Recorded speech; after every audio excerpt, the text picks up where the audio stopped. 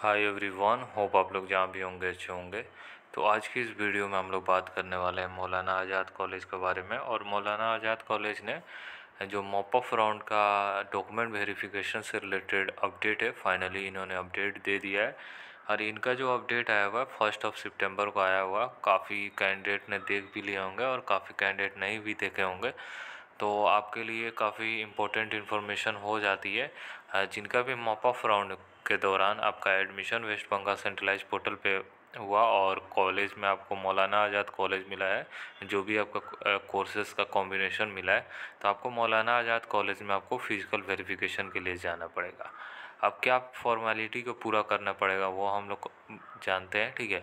तो physical verification के time पे आपको डॉक्यूमेंट लेके जाना होता है, कुछ ओरिजिनल डॉक्यूमेंट लेके जाना होगा, कुछ आपका फ़ोटो कॉपी मांगते हैं तो जो भी डॉक्यूमेंट से रिलेटेड हम लोग बात करेंगे। जो भी आपके लिए कोर्सेस वाइज जो भी टाइम डेट दिया गया है, उसके बारे में जानकारी लेंगे।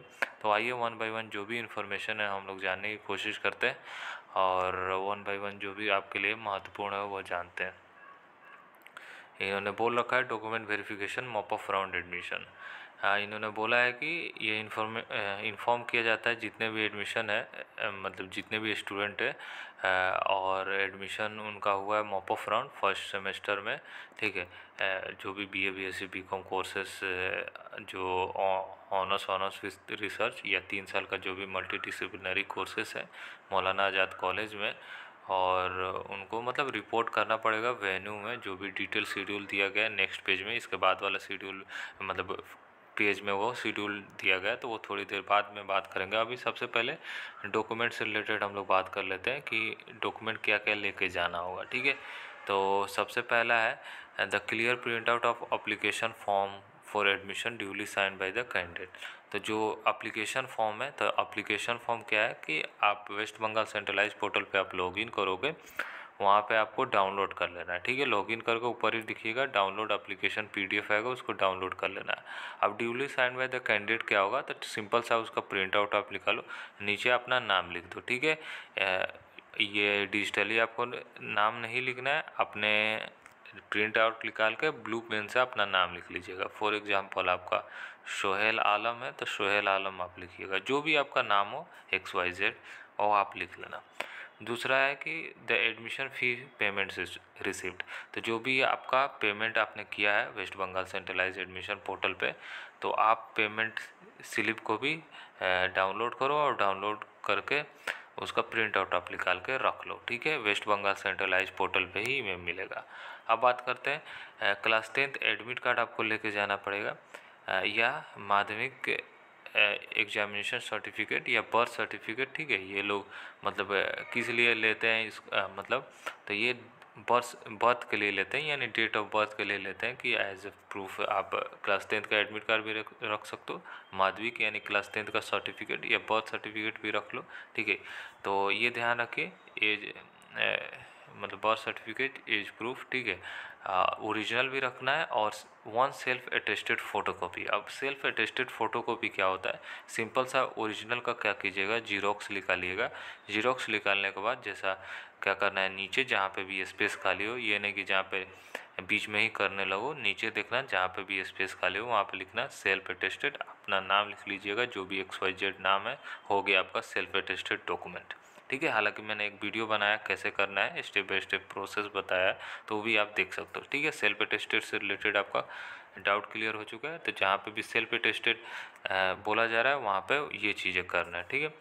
क्लास टेंथ मार्कशीट आपको लेके जाना है ओरिजिनल और self attested, class twelfth marksheet original और self attested, registration certificate, ten plus two board, original और वन सेल्फ अटेस्टेड फोटोकॉपी, ठीक है।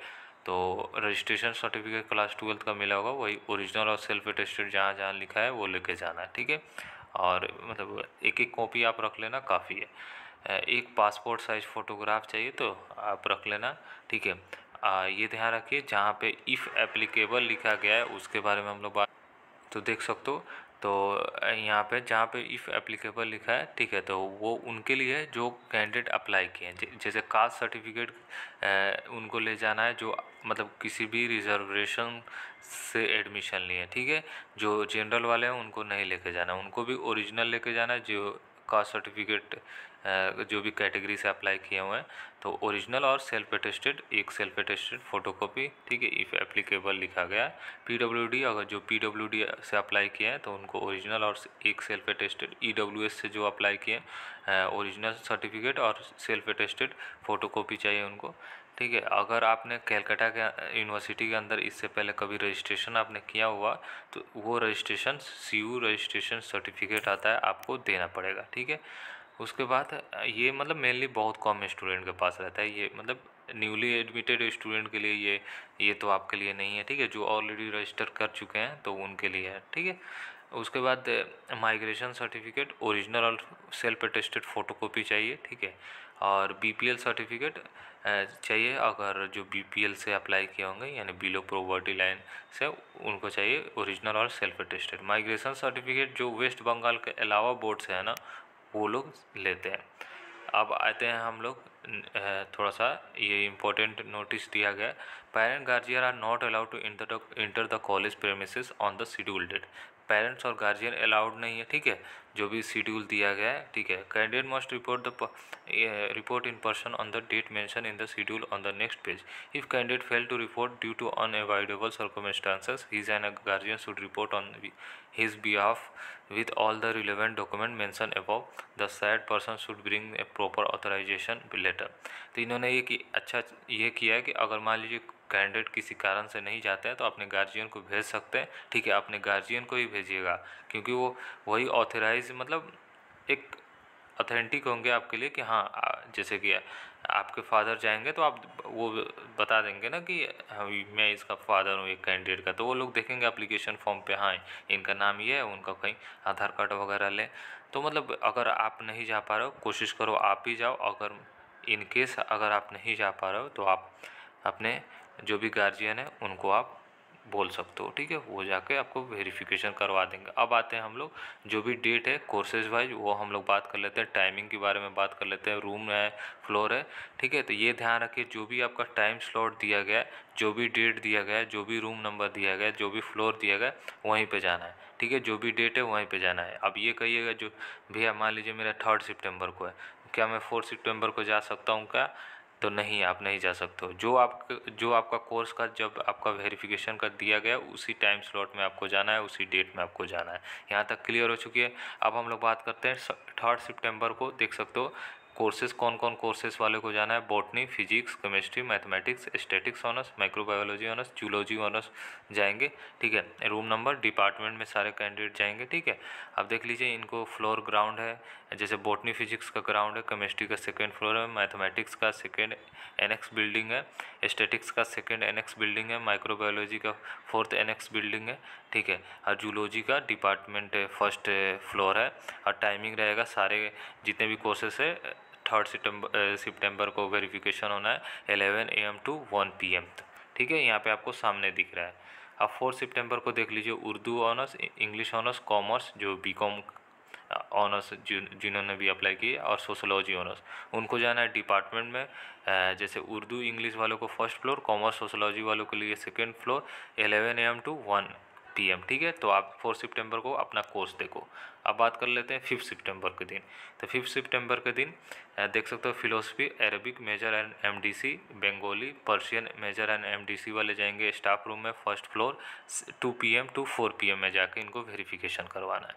और लास्ट है six September political science honours economics honours history honours Islamic history and culture Sanskrit honours इनको जाना है staff room में first floor one PM to three PM ठीक है तो छः तारीख तक, यानी थर्ड ऑफ़ सितंबर से आपका स्टार्ट हो रहा है और सिक्स सितंबर तक आपका फ़िज़िकल वेरिफिकेशन कंप्लीट हो जाएगा। ठीक है, जिनका भी एडमिशन हुआ है, मौलाना आज़ाद कॉलेज में आप जाके अपना फ़िज़िकल वेरिफिकेशन करवा लो, जो डॉक्यूमेंट मैंने बताया, वो डॉक्यूमेंट आप रेडी कर लो और उसको आपको लेके जाना लाजमी है self attested one self attested आपको रखना पड़ेगा, ठीक है, जो भी मैंने बताया तो वही जैसे कि आप प्रिंट आउट निकालना ओरिजिनल पे कभी भी आप मत करना। उसका जीरोक्स आप निकालो, ठीक है? नीचे आपको जहाँ पे दिखे सेल्फ अटेस्टेड लिखना और नीचे अपना नाम लिखना, पूरा नाम लिखना, ये नहीं कि शॉर्टकट मार दो, ठीक है? पूरा नाम, ठीक है? तो ऐसा कर देना। तो चलिए, यही था, बाकी यहाँ पे एंड हो जाता है, ठीक है? तो फिर मिलते हैं अलग वीडियो में, जहाँ पे भी कन्फ्यूज़न आ रहा है, आप हमसे ज़रूर पूछ सकते हो। तब तक के लिए बाय टेक केयर और ख्याल रखिए अपना।